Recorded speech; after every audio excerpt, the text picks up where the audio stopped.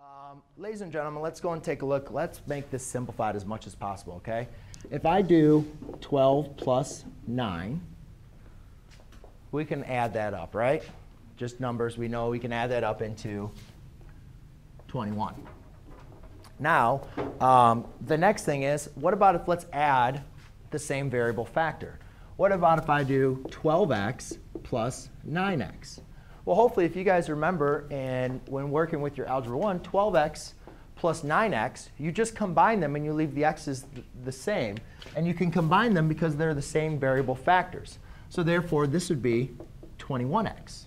All right? However, there's going to become a problem if what if I did 12x plus 9x squared?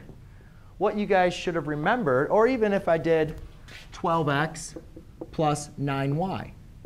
What we notice is if they don't have the same variables, or variable, what we call variable factors, you can't combine them. Here's an x and an x squared. Those are not the same, so I cannot combine these. Here's an x and here's a y. I cannot combine these. However, here I have a b squared and a b squared. Can I combine them now? Do they have the same variable factors? Yes, they do. So the answer to this is just going to be 21 b squared. OK?